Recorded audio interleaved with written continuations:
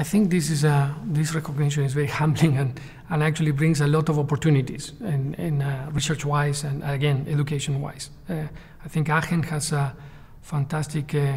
set of faculty and a superb uh, pool of students, graduate students, and uh,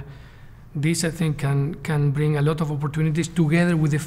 generous funding that the the Alexander von Humboldt Foundation pours into into it. So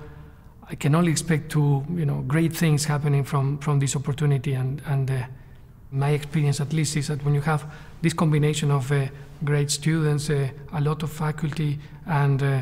you know sustained funding for a number of years, you can attack problems that normally, if you're funded on a short uh, short time basis, you will not dare to. Okay, so the greatness comes from there.